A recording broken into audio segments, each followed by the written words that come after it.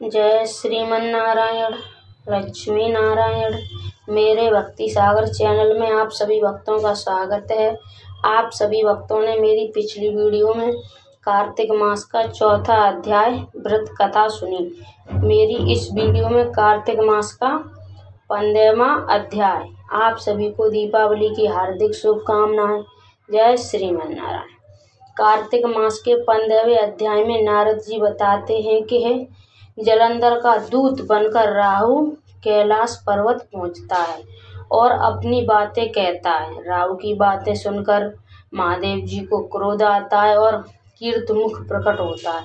इसलिए भगवान शिव के द्वार पर हमेशा कीर्तमुख होता है। यहाँ पढ़ें कार्तिक मास की पंद्रह अध्याय व्रत कथा। तदनंतर विष्णु भगवान की माया से मोहित होकर जलंधर ने राहु को अपना दूत बनाकर महादेव के पास भेजा। शुक्ल पक्ष के चंद्रमा की तरह शोभायमान कैलाश को राहु अपने शरीर की कालमा के कृष्ण पक्ष की भांति काला करता हुआ कैलाश पर गया और द्वारपाल नंदीश्वर की आज्ञा अनुसार महादेव के पास जा उनकी भुकुटी का संकेत पाकर राहु बोला, हे वृषध्वज देवता और सर्पों के पूज्य तथा सकल रत्नों के स्वामी, त्रिलोक के नाथ श्री महाराज, जलंधर की आज्ञा सुनो। भयानक शमशान में निवास करने वाला, हड्डियों के भार को धारण करने वाला, हमेशा नंगा रहने वाला प्राणी, पार्वती जैसी रूपवती को अपनी स्त्री कैसे बनावेगा? मैं सब रत्नों का स्वामी हूँ पार्वती भी स्त्रियों में एक रत्न है। अतः ये मेरी स्त्री होने योग्य है। ये तुम्हारे है जैसे भिक्षुक के योग्य नहीं हो सकती। नारद जी ने कहा कि राहु, इस तरह कह ही रहा था कि इतने में शंकर जी के भू से वज्र के समान गरजता हुआ एक भयंकर पुरुष उत्पन्न हुआ। जिसका सिंह के समान बार बार मुख लल्प लपा रहा था, जिसके नेत्रों से भयानक अग्नि ज्वाला निकल रही थी और केस खड़े हो रहे थे। अत्यंत दुर्बल शरीर था, वह दूसरे नृसिंह के समान प्रतीत हो रहा था। अपने को खो जाने के लिए उस पुरुष को अपनी ओर आता देखकर राहु बड़े वेग से भागा, परंतु उसने बार राहु को पकड़ ही लिया।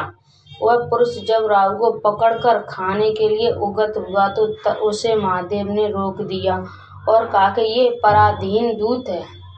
इसे न मारो, छोड़ दो। ऐसी बातें सुनकर उसने राहु को आकाश में ही छोड़ दिया। राहु के छोड़ने के बाद वह पुरुष महादेव जी के प्रार्थना करने लगा। उक्त पुरुष ने कहा कि, हे देवेंद्र हे प्रभु, मैं अतिशय भूखा प्यासा हूँ। मुझे भूख अत्यंत कष्ट दे रही है। आप आज्ञा दें, मैं क्या खाऊं? शिव जी ने कहा, शीघ्र अपने हाथ पैर का मांस खाओ। नारद जी ने कहा, शिव जी की आज्ञा पाकर वह अपने हाथ पैर का मांस इस प्रकार खा गया कि उसका केवल सिर ही बच गया। उसका अवशेष सिर देखकर विस्मयित और प्रसन्न होकर उस भयंकर कार्य करने वाले से शिव जी ने कहा शंकर ने कहा, तुम्हारा नाम आज से कीर्त मुख होगा। मेरे द्वार पर सर्वदा रहो। जो भक्त प्रथम तेरी पूजा नहीं करेगा, वे मेरे प्रिय नहीं होगा। नारद जी ने कहा, उसी दिन से महादेव जी के द्वार पर कीर्त मुख रहने लगा। कार्तिक मास का पंद्रहवा अध्याय समाप्त। बोलिए विष्णु भगवान की जय। भोलेनाथ की जय। जगदीश की आरती। ओम जय जगदीश हरे। स्वामी जय जगदीश हरे। भक्ति जनों के संकट क्षण में दूर करे। ओम जय जगदीश, हरे जो धावे फल पावे, दुख बिन से मन का, सुख संपत्ति घर आवे, कष्ट मिटे तन का। ओम जय जगदीश, हरे, मात पिता तुम मेरे, शरण गहूँ किसकी? तुम बिन और न दूजा, आस करूँ किसकी? ओम जय जगदीश हरे, तुम पूर्ण परमात्मा, तुम अंतरयामी। पार ब्रह्म परमेश्वर, तुम सबके स्वामी। ओम जय जगदीश हरे, तुम करुणा के सागर। तुम पालन करता। मैं मूरख खल कामी कृपा करो भरता। ओम जय जगदीश हरे। तुम हो एक अगोचर, सबके प्राणपति। किस विधि मिलूं दया मैं, तुमको मैं कुमिति। ओम जय जगदीश, हरे दीन बंद दुख हरता। तुम रक्षक मेरे, करुणा हस्त बढ़ाओ, द्वार पड़ा तेरे ओम जय जगदीश, हरे विषय विकार मिटाओ।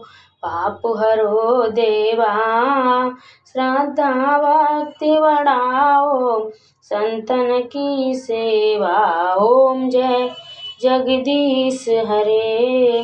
तन मन धन सब है तेरा तेरा तुझको अर्पण, क्या लागे मेरा? ओम जय जगदीश हरे, जो जगदीश की आरती प्रेम सहित गावे।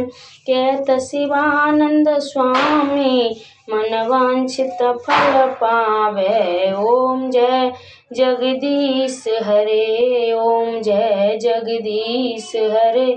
स्वामी जय जगदीश हरे।